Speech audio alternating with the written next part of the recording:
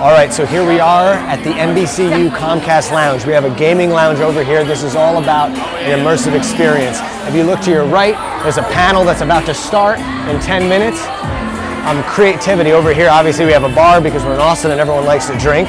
As we come through here, we're gonna actually see the set from NBC's The Office. So Steve Carell, Michael Scott, this is his desk and people are waiting in line to actually sit and take a photo. We come down here and we're promoting Pets 2. What's a better way to promote the film Pets 2 than to have actual adorable little puppies here?